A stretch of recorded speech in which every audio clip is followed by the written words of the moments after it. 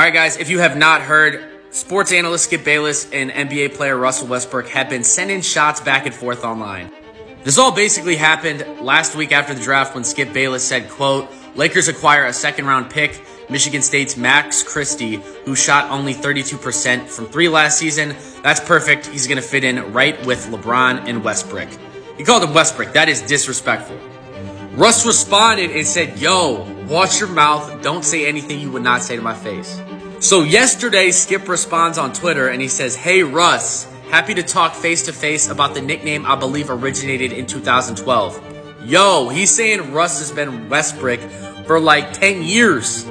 Skip then offers Russ to come join him on his show so they could talk about how he's going to make 47 mil next year after being the worst three point shooter in the league.